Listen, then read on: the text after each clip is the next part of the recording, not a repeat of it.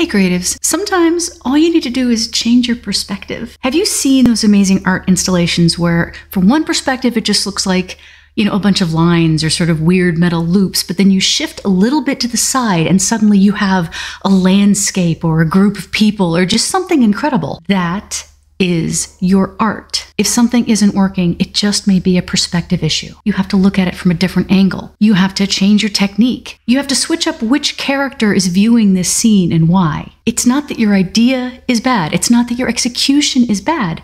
Sometimes you're just standing in the wrong place to see the thing. Yes, sometimes you do have to give up on a piece and just move on to the next one, but before you do that, Try switching perspectives and see if it makes any difference. It is amazing to me how often we can see the way forward to fixing and finishing that piece if we just stand in a different place and look at it. You've got this creative. There is almost always a way to move forward. Don't give up. Sit down with me now and let's make something new.